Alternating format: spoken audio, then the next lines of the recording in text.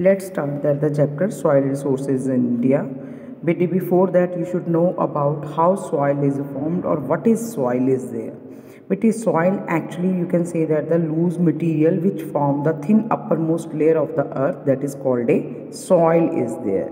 But its formation is related to that the parent rock material means which kind of rocks means uh, when they weather and then the soil is formed there then relief feature is there either steep slope is there where the soil formation is going on or the gentle slope is there then climate temperature and rainfall play very important role in the formation of the soil and vegetation because they provide that the decaying matter to that the soil is there.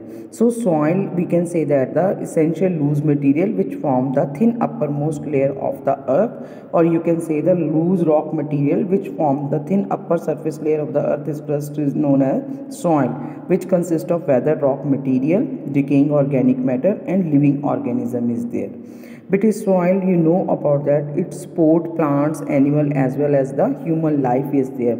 And people depend on the food which we eat and that is a soil is the source of that food for man and animal and india is agriculture country and the agriculture production depend on the fertility of the soil. We make that the clothes from the fiber grown in the, the soil. Soil not only provides the food and clothes it supplies the material for buildings houses mineral for the development of the industry also is there. Hence you can say that but the soil is that the most significant natural and basic resource for the development of our country is there but the process of soil formation is called that the pedogenesis is there. And the branch of the earth science you can say that that which deal the, the study of the soil or you can say the branch of the science which study about that the with soil a study of soil that is called a pedology is there. Now what is the composition of that the soil? But a soil is a mixture of inorganic or, or uh, inorganic or organic matter is there. First of all we talk about that the inorganic component is there. They are the these are the three one is there. First one is the silica.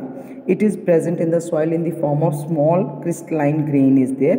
And the main constituent of that the sand is there. Okay silica we can we derived from that the disintegration of that the rock.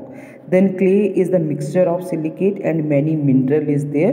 And in which uh, soil have that the large amount of clay that have the capacity to hold moisture is there. Chalk in the soil that provide that the calcium to that the uh, for the growth of the plant is there. Now we discuss about that the organic matter is there organic uh, component bit you can say that determine that the fertility of the soil which we derived from that the decay matter of that the vegetable matter is there. Okay? It is not a mineral is there. Now we will discuss about that the how soil erosion is occur. What are the cause of that the soil erosion? Before that we should know about what is the meaning of that the soil erosion is there but with soil erosion you can say that that removal of the top layer of that the soil by the agent like wind water waves okay they remove that the means we can say that the soil from one place to another place is there.